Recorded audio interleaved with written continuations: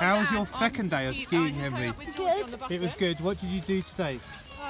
Um, so By the time I I can't my really sleeves You can't remember. But it was good fun, was it? Yeah. You had a really good time. Catch. Okay, catch. Here's